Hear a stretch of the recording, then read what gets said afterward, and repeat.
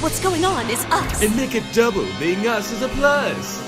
To protect the world from devastation. To unite all peoples within our nation. To denounce the evils of truth and love. To extend our reach to the stars above. Jessie And James. Team Rocket blasts off at the speed of light. Surrender now or prepare for a totally grown up fight. Yeah, that's right! Bob up that! Ugh, why do you have to make this so hard for us? it's like they're begging for us to steal their Pokemon. Well, who's gonna set up the trap then? Isn't it obvious? Me. Duh. Yeah, but I thought of this plan. This has been